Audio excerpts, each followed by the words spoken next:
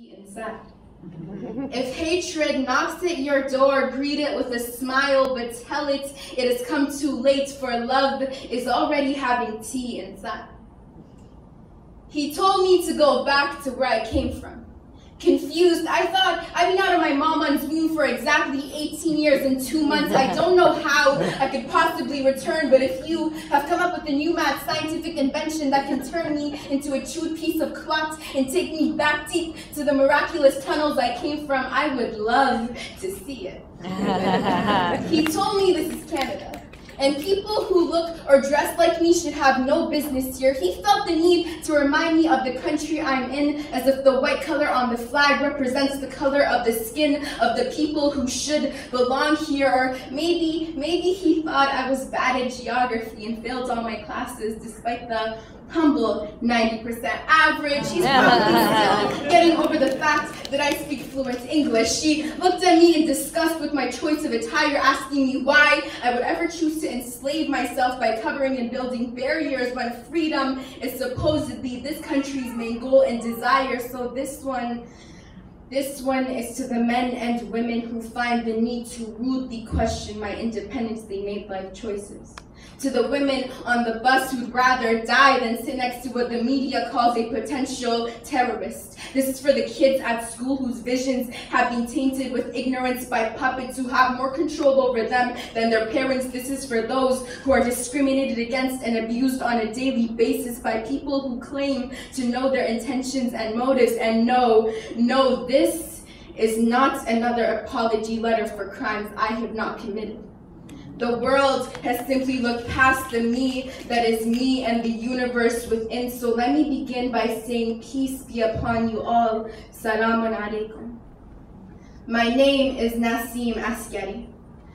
My first name means breeze and my last name means warrior. It pains me to have to translate my Iranian Arabic name into an imperial colonial tongue for all of you to understand it, for it loses its poetic merit and translation. Translation, translation is so weak, it can't even compare to its shadow. My name is in the poems of Hafiz, Sadi, Sohrab, and Rumi, and as exotic as my name and its history may be to some, the media and several governments have labeled people who look or dress like me as terrorists. So as a Muslim, Iranian, Canadian teenage girl, I have decided to unapologetically raise my voice and my pen, the most powerful weapons I own, and show the whole world otherwise. Yes, I'm that Muslim girl who's breaking stereotypes on a daily basis. I refuse to accept that we're all the same. I don't want to fit into your system of robots and puppets and it pains me to even have to question and think about whether I'd ever want to give birth to an innocent child who has to carry all the evil this world has built up in its spine, because what do I tell them?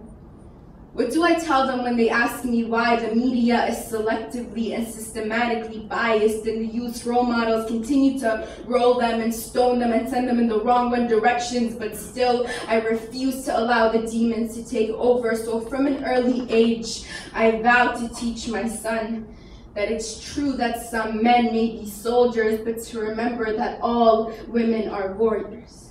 I will teach my daughter to stand defiant, especially when the tides are stronger than ever. But I will let her know that even if she can't, it's okay because her survival in itself is an act of resilience and courage. I will teach them that words are more than just words. I want them to radiate warmth in this world that has turned so freezing cold, so I will tell them both.